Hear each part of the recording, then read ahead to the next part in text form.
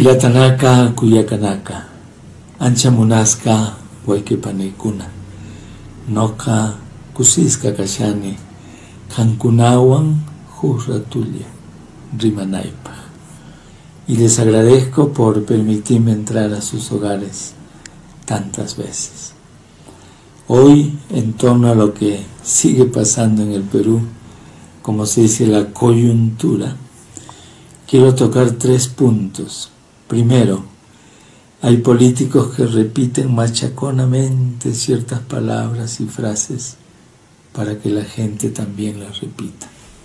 Segundo, otra, otras veces a los mismos políticos se les escapan algunas frases, se equivocan y aparece entonces la verdad que oculta. Y tercero, siempre esa verdad aparece a través de los hechos, de los actos de cada persona. Primer punto, la repetición machacona de ciertas palabras. La dicen tanto ciertos políticos que al final la gente las acepta como verdades absolutas. Por ejemplo, el Fujimorismo decía comunismo, comunismo, fraude en las mesas, fraude general y al final hay mucha gente que ni entiende qué cosa es, pero repite y dice, sí, ha habido fraude. Este es un método de Trump, ese señor de Estados Unidos que fue presidente y después volvió a ser candidato, que hizo tanto daño al pueblo de Estados Unidos y al mundo por esa actitud cavernaria en cuanto se refiere a la política y a la manera de pensar. Y él decía, si no gano, es fraude. No había otra opción. También nos hace recordar al método que usaba Joseph Goebbels, que fue el ministro de propaganda, nada más y nada menos que de Hitler. Y él tenía discursos populistas donde sembraba el miedo y a la vez el odio hacia lo extranjero. Y les hacía creer a la gente que solo Hitler podría salvarlos de su desastre económico y de la humillación que habían sufrido al perder la Primera Guerra Mundial. Entonces lo puso como el Salvador. ¿Cuál era el objetivo de este hombre, de este ministro siniestro? Controlar al pueblo y exterminar a sus enemigos. Y él tenía 11 principios de propaganda. Uno de ellos es el principio de la orquestación. Transmitir a la masa frases simples, repetidas una y mil veces, hasta que aparezcan como algo verdadero. Y una frase famosa de este Goebbels es, miente, miente, que algo queda. Y eso es lo que nos hace recordar la manera de funcionar, diríamos, de toda esta propaganda de Keiko Fujimori y sus gentes. El segundo punto, hay otros políticos y políticas a quienes se les escapan algunas frases que quisieran ocultar, pero al final las dicen, entonces uno se puede dar cuenta por dónde va la cosa. Por ejemplo, eh, Keiko Fujimori dijo un día algo terrible en un tuit. Hoy informé al mundo sobre la dura batalla que estamos dando los peruanos para no caer en manos del comunismo. Para ella esta pelea era de lucha por la vida o por la muerte. Ya lo había dicho antes Vargas Llosa, su mentor, había dicho que en caso de Castillo suba al poder sería una catástrofe inconmensurable. Y Rospigliosi también dijo que era una amenaza de una dictadura chavista en el Perú. Algo parecido dijo Leopoldo López, aquel venezolano que está refugiado en España, que era una amenaza a la democracia. Entonces, como es una amenaza, como según ellos va a ser una dictadura, ellos tienen que atacarla para que sea imposible que entre al gobierno Castillo. Entonces es una consigna. Y lo dicen entre ellos y se lo repiten. No va a gobernar. No puede gobernar.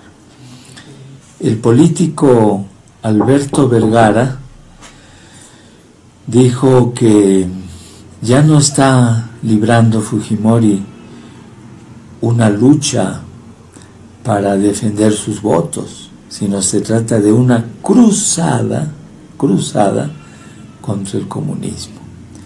Y aparece también Florenano despreciando al candidato, tratándolo de muñeco, y así despreciativamente habla de los que siguen a Castillo como los lapicitos.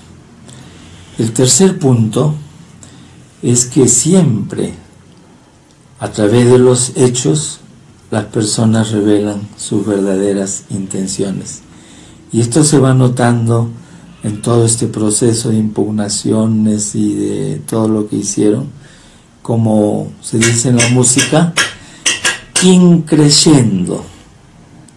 Jesús decía en Mateo capítulo 7, versículo 16, por sus frutos los conocerán. O sea que sus hechos los delatan. Entonces, al ver que está eh, Keiko, al ver que estaba perdiendo, ella empieza a decir primero que se trataba de un fraude en la mesa.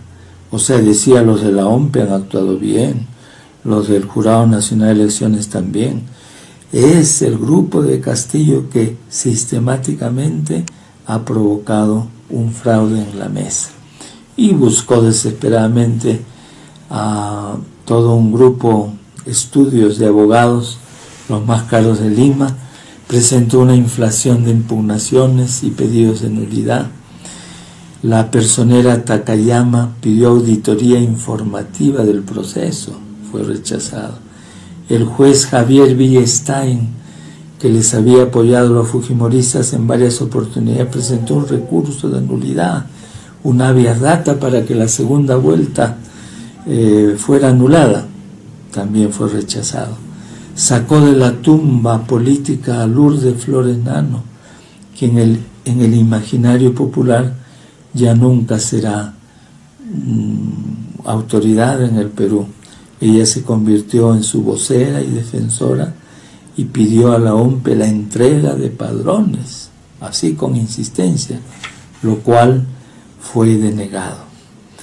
El puneño aprista Óscar Urbiola se volvió también su, su defensor y ha terminado desprestigiado.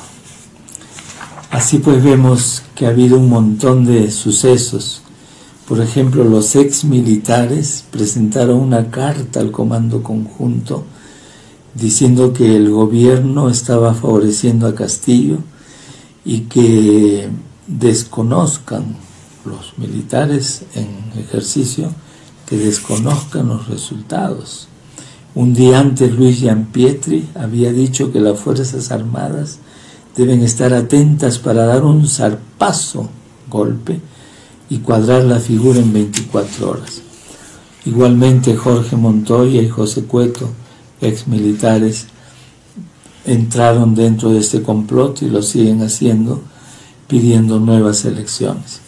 El 22 de junio, los ex militares tuvieron un plantón, un plantón hicieron, y así días después hicieron otro plantón. El señor Olivera presentó audios grabados el 10 de junio en que Montesinos conversaba con operadores Pedro Rejas y Guillermo Sendón para hacer un fraude, para pagar alrededor de 3 millones a los de la del Jurado Nacional de Elecciones. También uno de ellos, Luis Arce, renunció y creó un, problema porque ya no podían reunirse los otros del Jurado Nacional de Elecciones, sin embargo, eh, el jurado solucionó el problema y se pudo seguir este, el ver todas las impugnaciones. En fin, ha habido tanto miedo y han ido también la misma Keiko al Palacio de Gobierno a pedirle a Sagasti que él reclame en la OEA una auditoría. Frente a todo esto tenemos una conclusión, un análisis. El objetivo final de este grupo y de los que los apoyan es que no debe gobernar Pedro Castillo. Se trata de satanizarlo e insultarlo. Se trata de decir que ha habido fraude en la mesa, en las mesas, e involucrar a personajes importantes. Y si no apoyan, declararlos cómplices, como están haciendo con la OMPE y el Jurado Nacional de Elecciones. Ellos están dispuestos a todo. Que el nuevo Congreso, eh, o sea, impedir que se le declare como ganador a Castillo y que el nuevo Congreso cuyo presidente sería el ex militar Jorge Montoya, ya ocupe la presidencia y llame a nuevas elecciones. De todo esto podemos sacar una moraleja. Jesús dijo la verdad, los hará libres. Juan 8:32. Sin embargo, vemos que el Fujimorismo desde el inicio ha buscado solo la mentira como peruanos tenemos que ayudar a esta señora que ha estado metida en la mentira, esclavizada en sus propias mentiras, a que ya no sea tal, haciendo que nunca más sea candidata para ningún cargo. Y nosotros, como pueblo, seamos por la verdad hombres y mujeres libres. Y con esto les digo, Jamo Semanakama, Rikisin Kama.